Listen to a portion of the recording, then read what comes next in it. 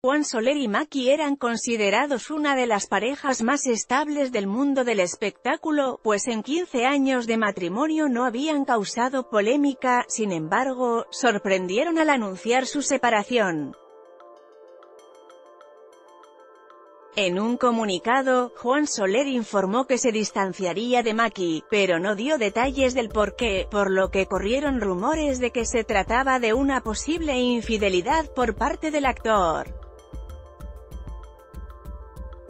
La también actriz comentó en una entrevista que no se trataba de una traición, por el contrario, señaló que su ex no es nada ojo alegre, no obstante, tampoco dio detalles de lo que ocurrió.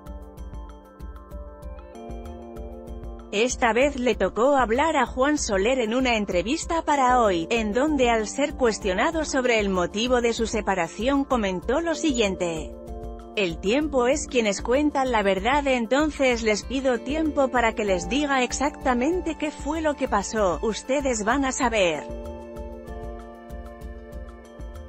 Asimismo, Juan Soler afirmó que aunque ya no existe una relación marital, se lleva bien con la actriz, pues señaló que ambos son muy maduros, amo profundamente a Maki, las cosas no pasan por ese lado, la dinámica tal como le dije en el comunicado llevo dos años separado de mi familia y hay que desplantar muchas cosas.